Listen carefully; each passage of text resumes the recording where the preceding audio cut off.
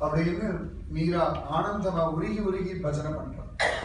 அப்ப பிருந்தாவனத்துக்கு போகிற சில பக்தர்கள் இந்த காட்டு வழியா போறார் அவளுக்கு மீராவுடைய கீர்த்தனை கேட்டுடுத்து. ஓடி வந்து பார்த்தா ஒரு காட்டு அரண்மனைக்குள்ள ஒரு ஸ்திரீயுடைய குரல் மட்டும் கேட்கிறது வெளியில பூட்டி இருக்கு. இவ பூட்டை உடைச்சுட்டு உள்ள போய் பார்த்தா மீரா தெய்வீகமா உட்கார்ந்துட்டு பகவத் பஜனை பண்றான். ரொம்ப நேரம் மீரா தன்னை மறந்து பஜனை பண்ணிட்டு இருக்கா. இந்த பாகவதர்கள் ஆவாடு உட்கார்ந்து கேட்டார்கள். வசனம் முடிஞ்சு மீரா கண்ணை திறந்து பார்க்கணும். நிறைய பக்தர்கள் உட்கார்ந்து இருக்கா மீரா ஒண்ணுமே புரியல. அவள்லாம் சேவிச்சா மீராவை யாரும்மா நீங்க? அப்படின்னு. மீரா சொன்னா அடியாள் கிருஷ்ணதாசி. அதானே அடையாளம். நமக்கு என்ன அடையாளம்?